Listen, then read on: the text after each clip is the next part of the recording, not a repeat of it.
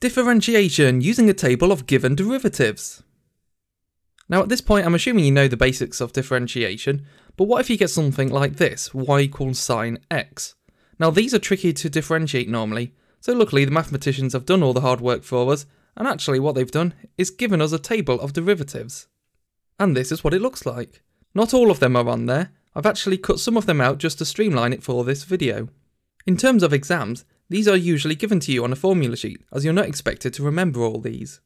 Now how this table works is quite simple. On the left hand side, you've got the functions, and on the right hand side, the derivative of those functions.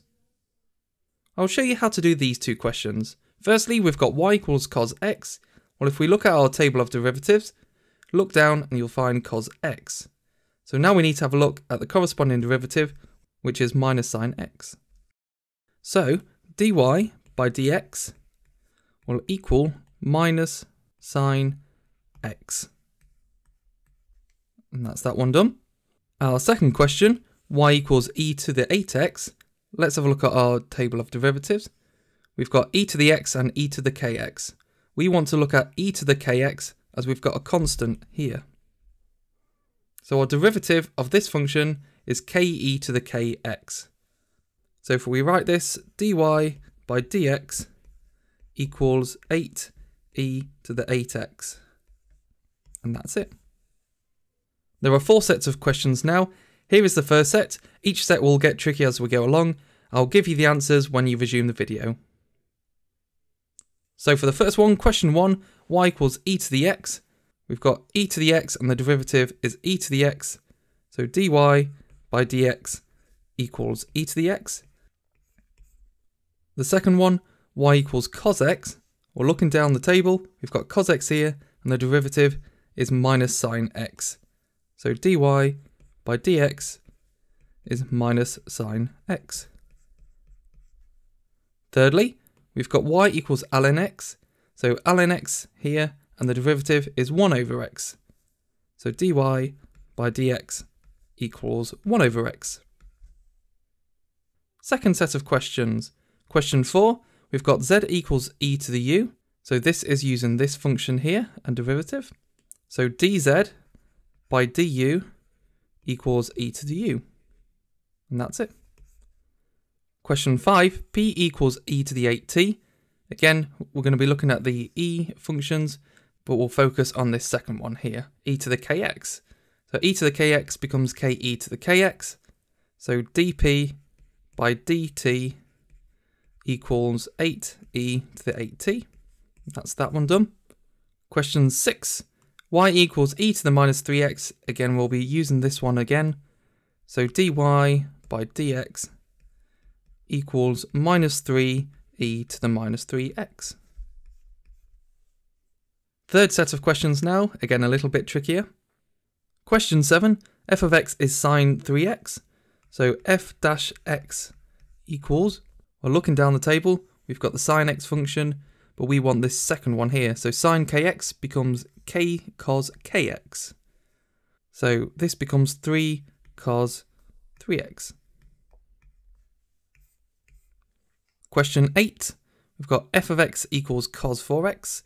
So f dash x equals, looking down the table, here are the cos functions. We want this one because we've got a constant and the derivative of this is minus k sine kx. Bit trickier, but here we go. So we've got minus and then 4 sine 4x. And that's that done. Question 9 is the fun one because it's got tan involved. We've got y equals tan 6x. So looking down the table of functions, we've got tan x and tan kx. We want tan kx because we've got a constant involved. So the derivative of this is k sec squared kx. So dy by dx equals k, which is 6, sec squared, and kx. So 6x. And there's our answer for question 9. Here's the last set of questions for you. I hope you've been doing well so far. Question 10. We've got Find the derivative of the following. So we've got u equals e to the 3t minus cos 7t. Well, I'll start by writing du by dt equals, the first part we've got e to the 3t, So looking at our table, this is the function we'll be using. So here's the derivative.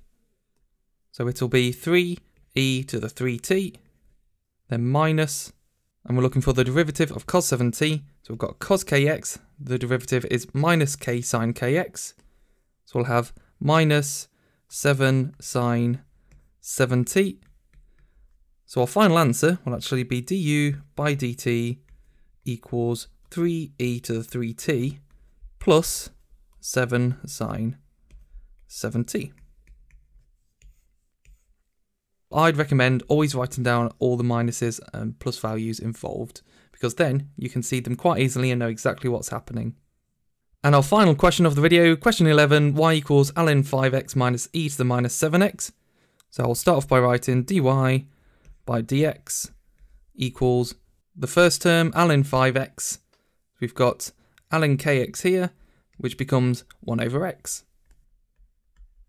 Minus, our second term is e to the minus 7x, so we've got e to the kx, which becomes ke to the kx. So we've got minus 7e to the minus 7x. Seeing as we have two minuses next to each other, that becomes a plus. So dy by dx equals 1 over x plus 7e to the minus 7x. There's a final answer. And that's all for using a table of derivatives. The next video in this series is using the product rule. I hope this video helped you. Stay safe and healthy out there, and I'll see you in the next video.